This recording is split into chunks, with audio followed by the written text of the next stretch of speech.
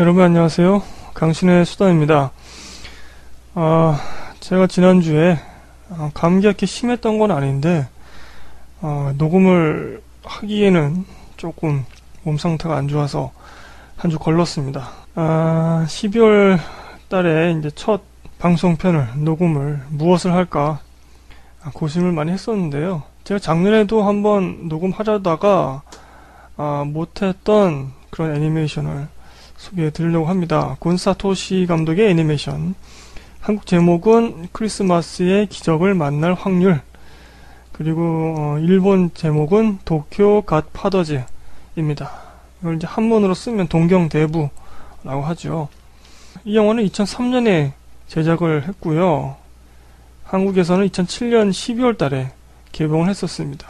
12월에 잘 어울리는 그런 영화입니다. 좀 이따 말씀드릴 거지만 영화가 개연성이 잘 짜여져 있는 영화라기보다는 어, 정말 우연으로 계속해서 그 사건을 전개시키기 때문에 거부감이 좀 있을 수 있는데 이게 또 분위기가 12월 달이고 성탄절이다. 그런 느낌이 딱 들면 아, 좀 너그러워지잖아요 우리가. 그래서 이 영화 아, 12월 달에 보시기에 참 좋다. 그런 말씀 드리고 싶네요 90분짜리고요. 아주 좋죠. 12세 관람가입니다. 한국에서 개봉했을 때는 9,500명 정도 관람했다고 되어 있는데 어, 생각보다 많이 들어가서 깜짝 놀랐습니다. 어, 음, 영화에 대한 소개는 잠시 후에 하고요. 저희 블로그와 트위터가 있죠. 모두 강신의 수다 검색하시면 찾아오실 수 있습니다. 어, 트위터 쪽으로 다원님께서 새롭게 팔로잉 해주셨습니다. 그리고 또 다른 분이 한 번 해주셨는데 팔로잉을 끊으셨어요. 그동안에. 제가 한 주 쉬는 동안에. 재밌네요. 자, 블로그에 여러분들이 12월 달에 보신 영화를, 감상을 댓글로 남기실 수 있도록 페이지를 마련해 놓았습니다.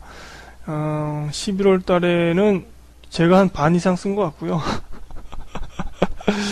다른 분들이 거의 안 오셔가지고 아, 12월 달에는 좀 많이 오시지 않을까 아, 그런 좀 희망을 갖고 싶네요. 희망을 주세요 제게. 오늘 소개해드릴 영화도 굉장히 희망적인 영화인데 자 그리고 현재 2014년 청취자 영화 결산 그리고 함께 강신의 영화제 그 설문을 받고 있죠. 청취자분들의 설문이 한 30분 이상 30명 이상 있어야만 가능한 아, 의미가 있는 통계가 나올 수 있죠. 지금 뭐 참여율이 거의 뭐, 아, 매우 안 좋습니다. 아, 잘 모르겠네요. 이거를 성공리에 맞출 수 있을지. 어떻게 보면 참 모험이기도 한데, 왜냐면 저희 청취자분들이 전 세계적으로 약 100분 정도 계시거든요. 아, 그 중에서 30명이라 그러면, 아우, 꽤 큰 숫자이기 때문에. 도전을 한번 해봅니다, 제가. 여러분들 많이 참여해 주시고요. 요거는 각종 어, 플의 댓글란 그쪽에도 제가 주소를 써놨고 가장 쉽게는 저희 블로그 찾아오셔서 어, 그쪽에 이제 2014년 개봉 영화들 목록도 있기 때문에 그것도 보시면서 참고하시면서 어, 설문 참여해 주시면 되겠습니다. 아 그리고 또 한 가지 좀 말씀드리면 제가 어, 무슨 영화 보셨나요? 10월달 편인가요? 그걸 아직 녹음을 못했습니다. 어, 그 조만간 녹음해서 그것은 제가 평일에 올리도록 할게요.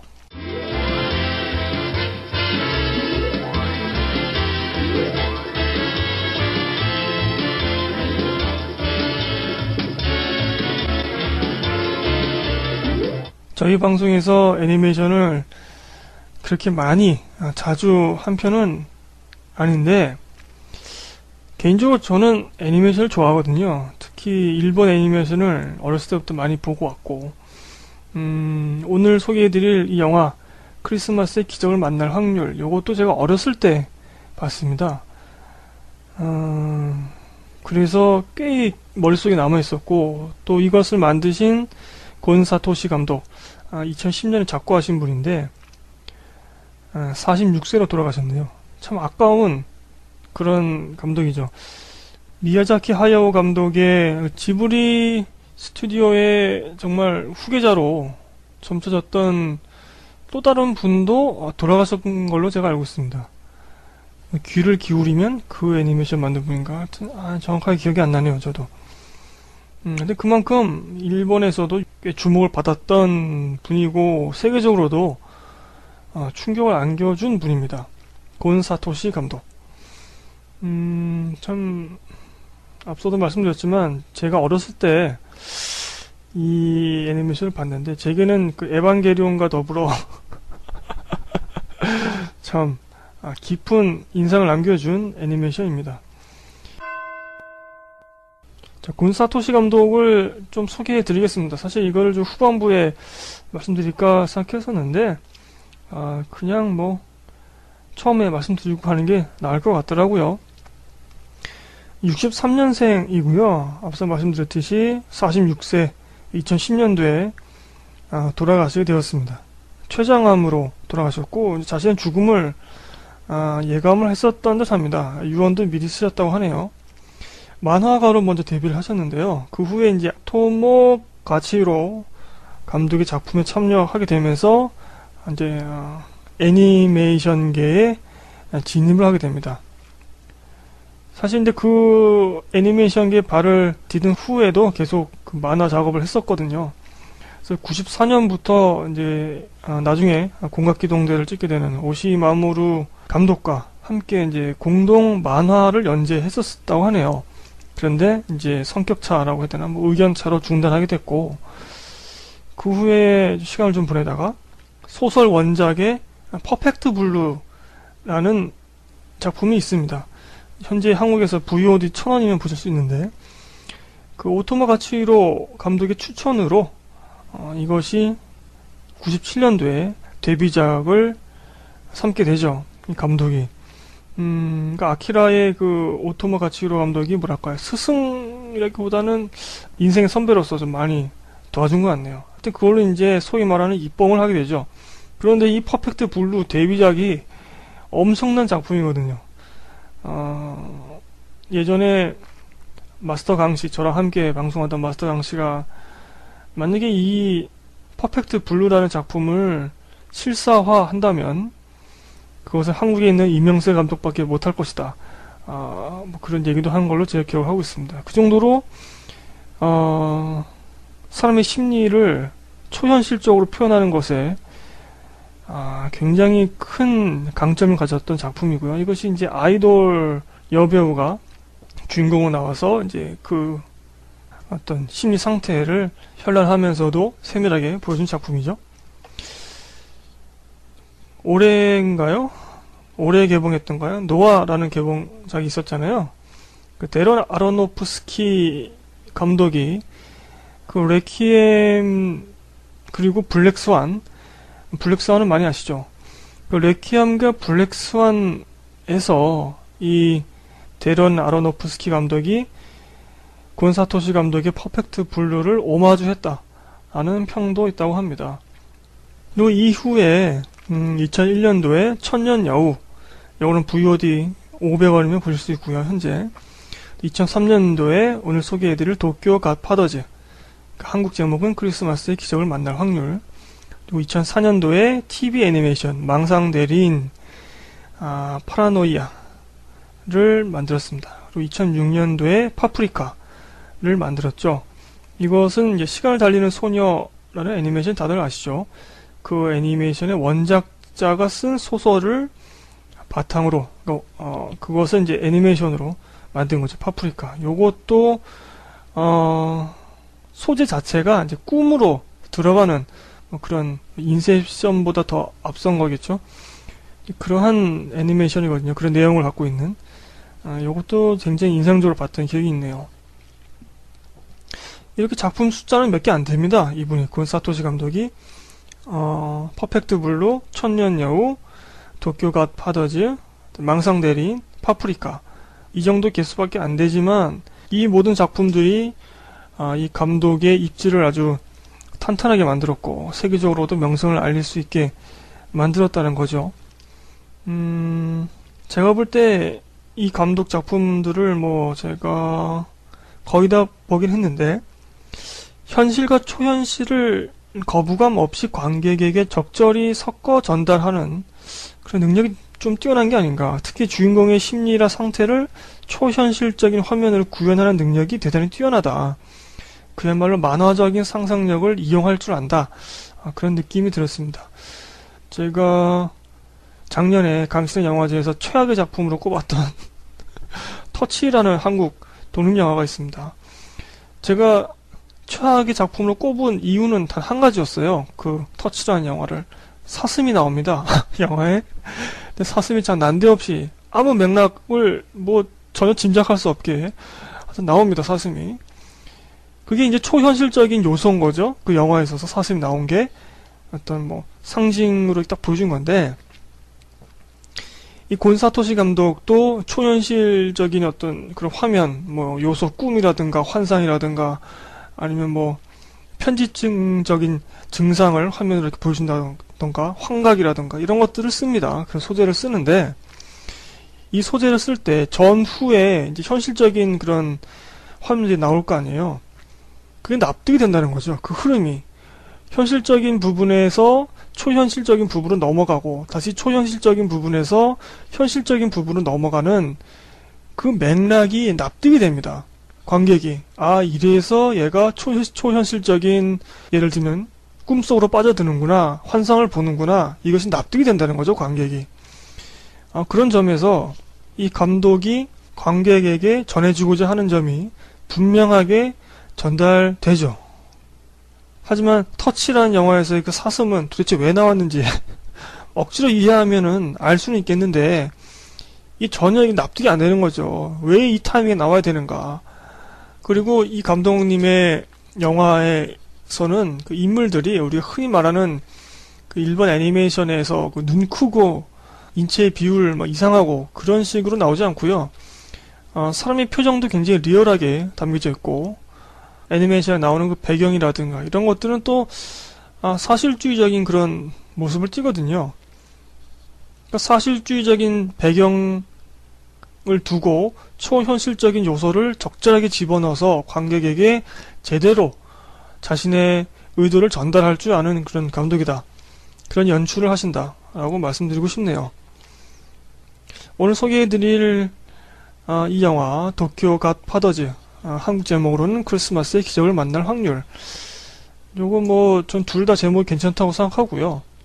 음, 이 영화도 인물들의 표정이 참 살아 있습니다. 그리고 어, 그 당시 일본 사회에 좀 소외된 계층, 어두운 부분들을 블랙 유머 비슷하게 표현하면서도 사실은 메시지가 굉장히 따뜻한 메시지를 전달하는 아, 그런 영화입니다.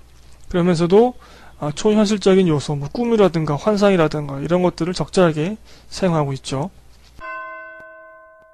이 도쿄가 파다즈 아, 크리스마스의 기적을 만날 확률 이 영화는 1948년도에 존 포드라는 감독이 있잖아요. 미국의 감독인데 그 존 포드 감독이 만들었던 서부극 3인의 대부에서 모티브를 따왔다고 합니다.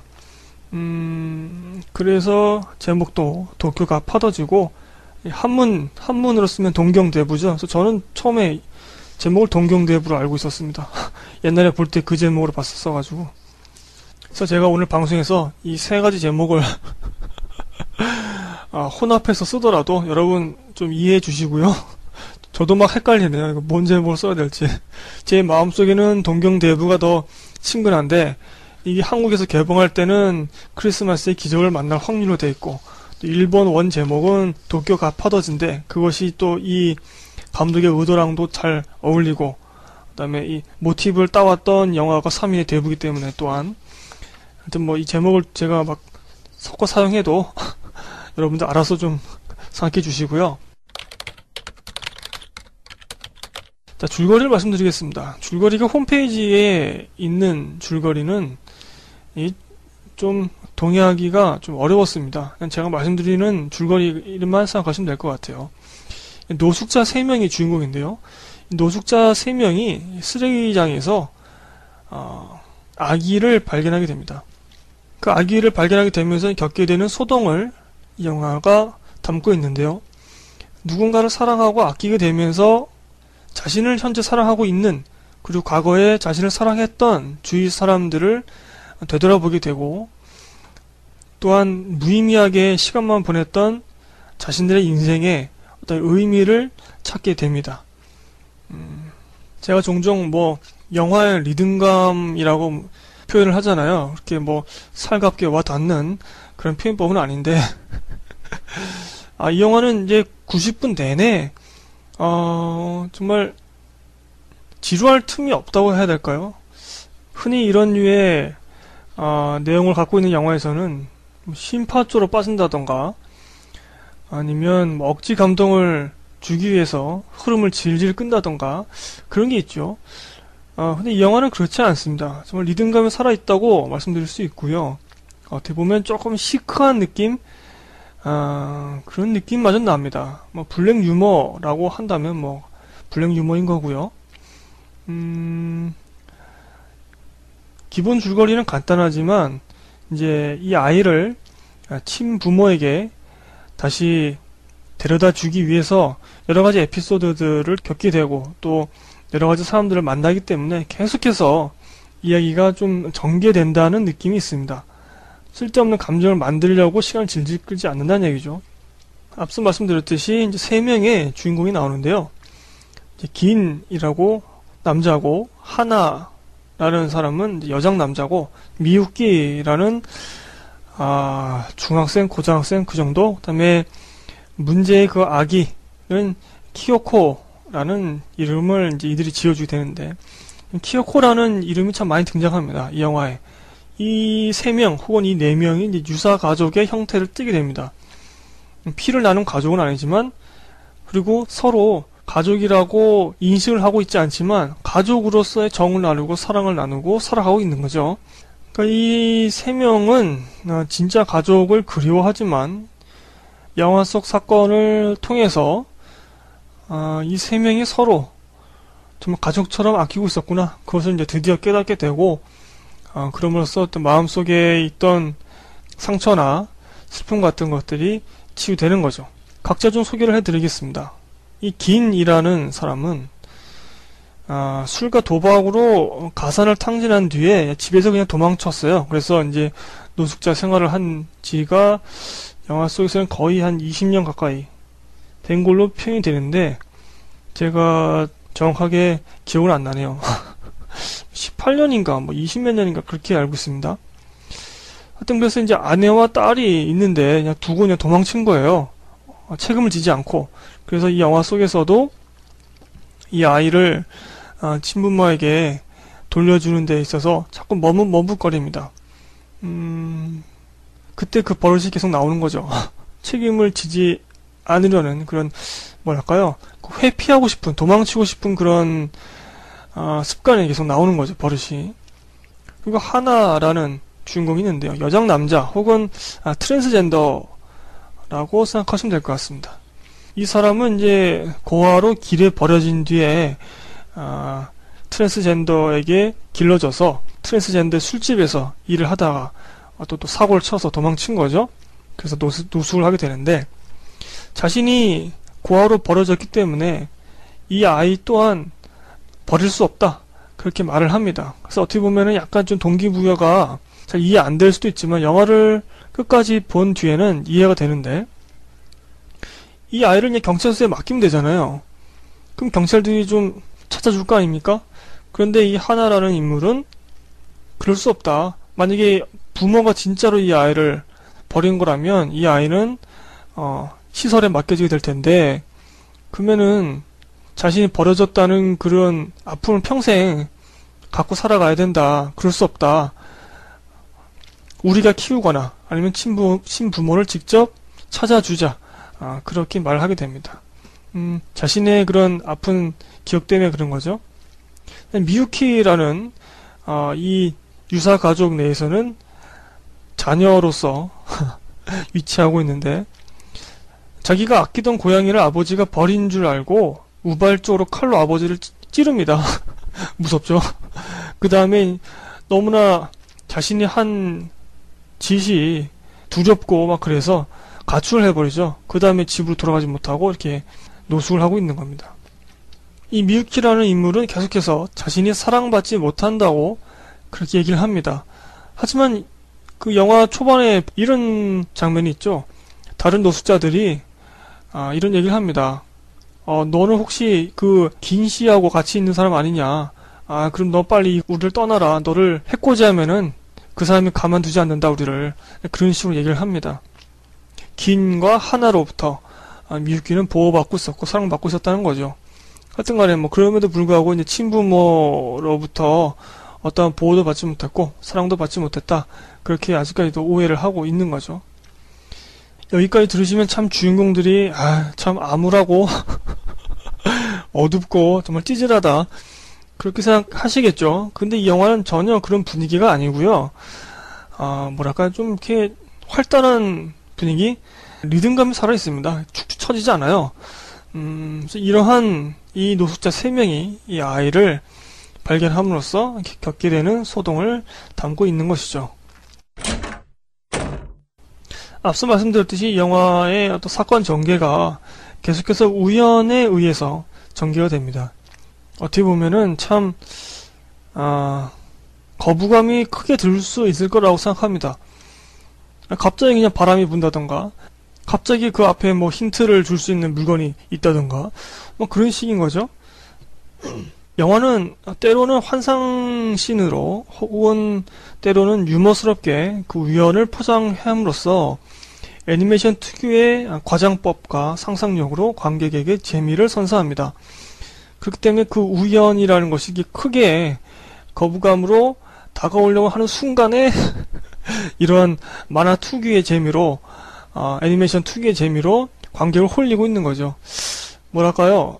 그 중요한 순간순간마다 개연성이 없고 어, 인과관계가 불분명한 어, 그런 일들로 일들로 인해서 그 갈등이 해결되고 그 중요한 순간을 넘기고 이러한 영화들은 굉장히 안 좋은 영화거든요, 사실은.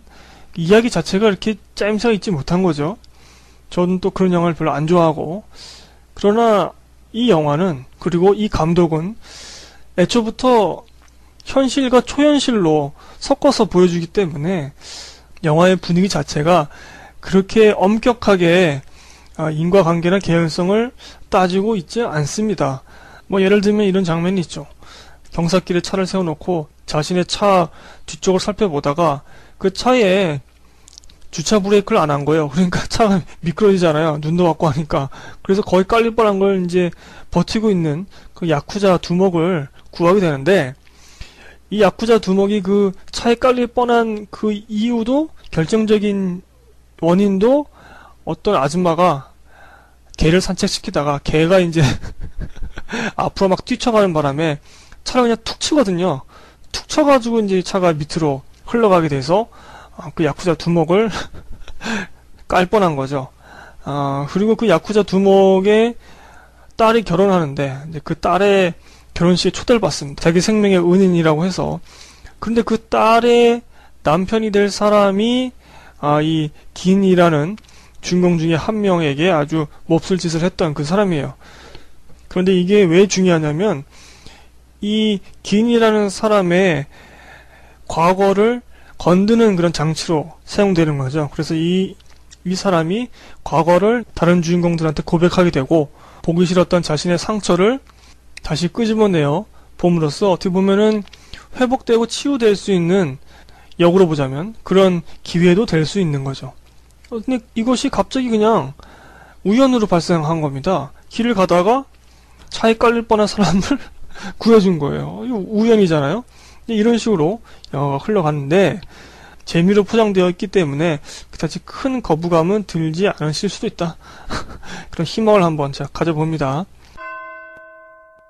여하튼지 간에 이 영화에서는 우연이라는 것이 크게 작용을 하는데 영화 속에서 이 우연으로 만나게 되는 인물들이 뭐 앞서 말씀, 말씀드렸던 그런 야쿠자 두목이라든가 아니면 자신에게 과거에 몹쓸 짓을 했던 그런 사람이라든가 이런 인물들이 모두 유기적으로 힘을 모아서 뭐 사건을 해결한다. 뭐 그렇지는 않습니다.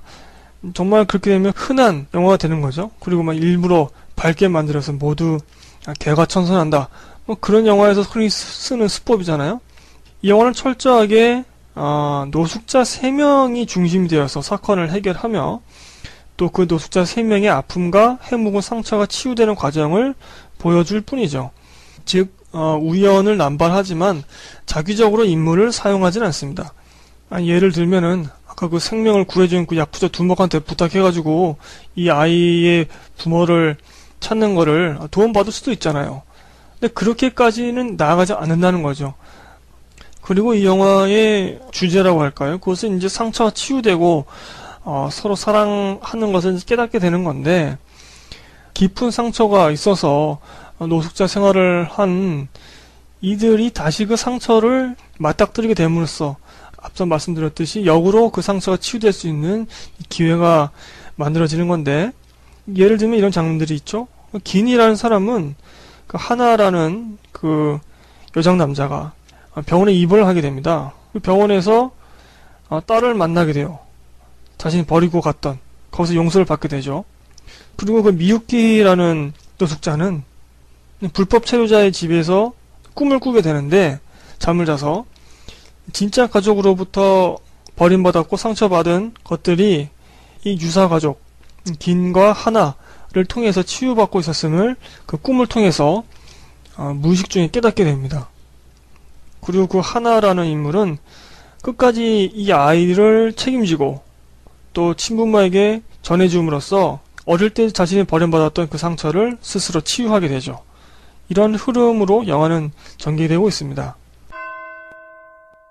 또 이 영화가 아, 좋았던 점 혹은 오늘날 우리 시대에도 어떤 의미를 갖고 있다고 생각하는 점은 어, 이 시대, 이 사회에서 소외된 사람들을 주로 등장시켜서 이야기를 꾸려가고 있습니다. 멋있는 사람, 힘 있는 사람, 돈 많은 사람이 호기롭게 도와준다던가 그런 식으로 이야기가 전개되지 않고 없는 사람, 아픈 사람, 어, 소외된 사람들이 출연하고 있습니다. 어쩌면 이 감독은 2003년 당시에 일본을 비꼬는 것일 수도 있다. 우리 일본에는 아, 이러한 소외된 계층, 소외된 사람들이 있다. 이들에게 눈을 돌리자. 뭐 그렇게 말하는 것일 수도 있겠죠? 영화 속에서는 이제 노숙자가 나오죠. 그리고 도박 중독자도 나오고 술집 여정원도 나옵니다. 그 다음에 트랜스젠더도 나오고요. 가출 청소년, 불법 체류자, 장애인 등등 소외된 사람들이 나옵니다.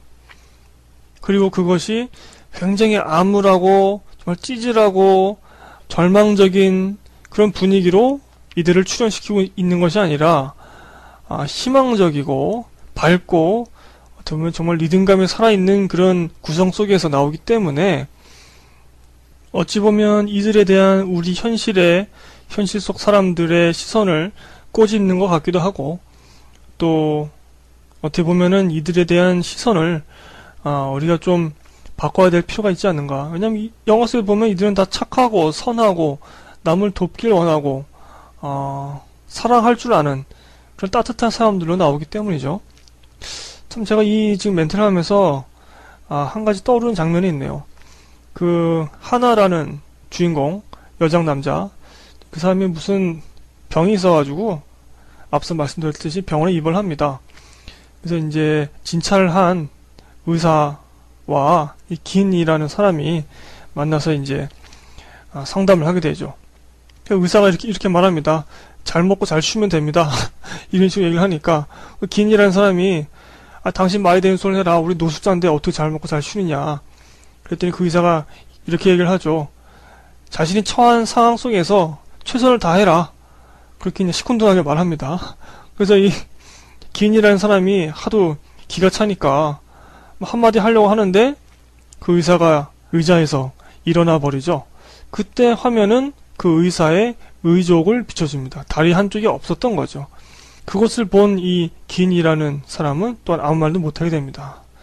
왜냐하면 이 의사 또한 자신이 내뱉은 말, 자신이 처한 상황 속에서 최선을 다하는 것을 이미 실행했고 자신의 삶으로 살아왔다는 것을 그 단 한 장면으로 이 긴과 관객에게 모두 보여주고 있는 셈이죠. 근데 또 재밌는 거는 이 병원에서 그 긴이라는 사람이 그 딸을 만난다고 했잖아요. 그래서 이제 용서를 받는다고 했는데 그 기내 딸이 바로 그 의사, 의사하고 결혼한다고 그렇게 얘기를 하죠. 기내라는 사람이 깜짝 놀라면서 아, 나랑 나이가 비슷한데? 이런 식으로 얘기를 하는 장면도 나옵니다. 음, 좀 그러네요. 갑자기 그 장면도 떠오르네요. 전체적으로 이 영화는 인과관계에 집착하기보다는 아, 따뜻함을 잃은 이 시대의 사람들이 치유되고 회복되고 궁극적으로 서로 사랑하고 자신이 누군가로부터 사랑받고 있음을 깨닫게 되길 바라고 있는 것이 아닌가. 그렇기 때문에 아, 소외된 사람들을 더 비춘 것이 아닌가. 아, 그런 생각마저 들었습니다. 음, 우연이 반복되기 때문에 어떤 분들은 싫어하실 수 있지만 이 사랑이라는 것은 정말 우연 아닌가요?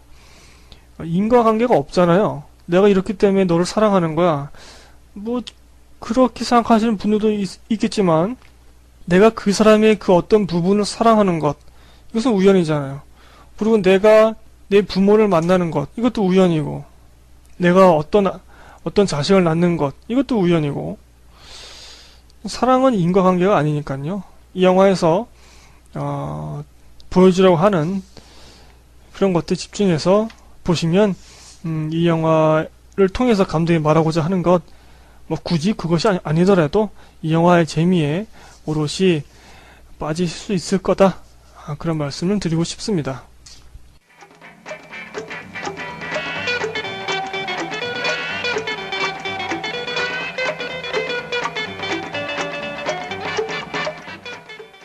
자, 동경대부 이 영화 아, 총평하겠습니다. 어, 고인이 된 곤사토시 감독의 영화로서 크리스마스에 보면 정말 좋을 만한 정말 따뜻한 영화다. 12월달 여러분 꼭 보셨, 보셨으면 좋겠고 어, 강신혜라는 사람이 아, 작년부터 계속 소개하려고 했었다.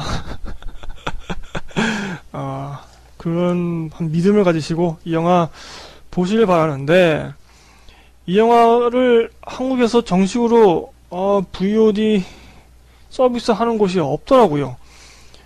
유튜브에 혹시 있나 찾아봤는데 유튜브에도 없습니다. 그래서 그 PD박스인가? 어, 그쪽에 돈 천원인가 700원 내고 아마 보실 수 있을 것 같아요. 하여튼 제가 찾아서 어, 저희 블로그 쪽에 링크 해놓겠습니다. 아시는 분들은 아시겠지만 제가 항상 방송편을 올리고 그 방송편을 보충할 그 설명들을 블로그에 써놓죠. 음, 그렇기 때문에 방송편 들으시고 항상 블로그 찾아오시고 또 하여튼간에 이 영화도 꼭 감상해 보시길 바랍니다. 정말 따뜻한 영화거든요. 어, 제가 찾은 어떤 글에서 곤사토시 감독에 대해 말한 것을 어, 인용해 드리면서 총평 마무리하겠습니다. 이렇게 써 있네요. 그의 작품들은 현실과 꿈을 나누는 경계가 붕괴되는 지점을 포착하면서 그 속에서 한 개인의 자아가 어떻게 분열되는지, 그 경계를 넘어가는 과정에서 어떻게 상처가 나고 봉합되는지 직접적이든 은유적이든 드러내고 있다.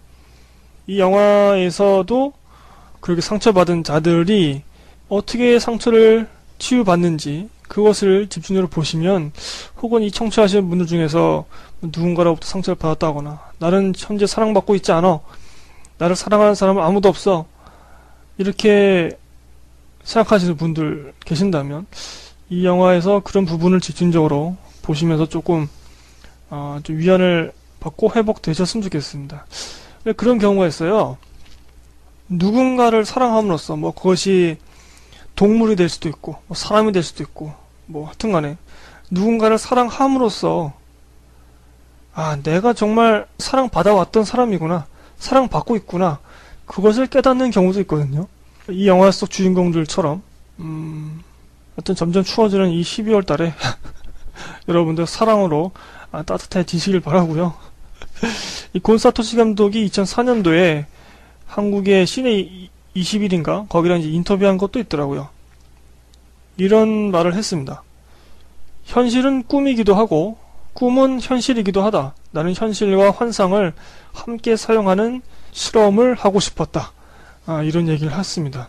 이런 인터뷰에 혹시 관심 생긴다면 꼭 다른 작품들 뭐 퍼펙트 블루라든가 천년여우 이것은 현재 이 두 영화는 VOD 서비스 되니까 찾아보시고 그다음 TV 애니메이션 망상 대리인 그다음 2006년도에 마지막 작품이죠 파프리카 이런 것들을 찾아보시면 될 것 같습니다. 12월 달 되니까 여러분 아, 정말 바야흐로 겨울 같습니다. 왜 이리 춥습니까? 갑자기 추워진 듯한 느낌이 들어서 저도 아, 감기 기운이 좀 있었는데 여러분들도 감기 조심하시고요. 자, 12월 18일까지 여러분 설문조사 받고 있습니다. 2014년 청취자 영화 결산 강신의 영화제 아, 받고 있으니까요. 여러분들 꼭 참여해 주시길 바라고요. 음, 12월 달에는 뭐 12월 뿐만 아니라 1월 달이든 겨울에는 따뜻한 영화들을 주로 좀 하고 싶습니다. 여러분들 추천하신 영화 있으면 좀 알려주시고요. 자, 그럼 여기서 방송 줄이겠습니다. 제가 오늘 소개를 잘 해드렸는지 요즘에 제가 방송을 아, 좀 그래요. 스스로 이렇게 판단하건데 아, 방송들이 점점 좀 이상해지는 것 같아요. 아, 뭔가 혁신을 좀 해야 되는데, 그러질 못하고 있습니다. 그리고 어떤 영화들은 정말 좋은 영화인데, 이걸 말로 설명하기가 정말 애매하고 어려운 경우가 있어요.